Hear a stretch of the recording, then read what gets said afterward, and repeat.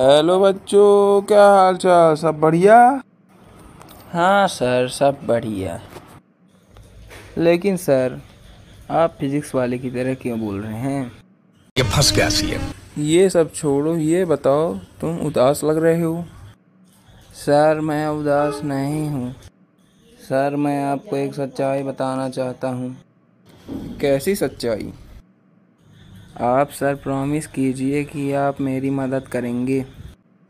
हाँ पहले सच्चाई तो बताओ। सर कल टेन एम मेरा पेपर था। वो तो सभी बच्चों का था। हाँ सर लेकिन जिसको मेरे आगे बैठना था वो तो आया ही नहीं।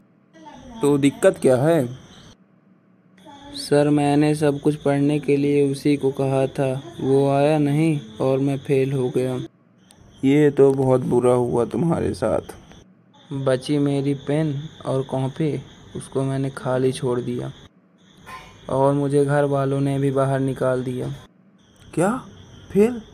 फिर बच्चों को मैं अपने स्कूल में बिल्कुल नहीं पढ़ाता।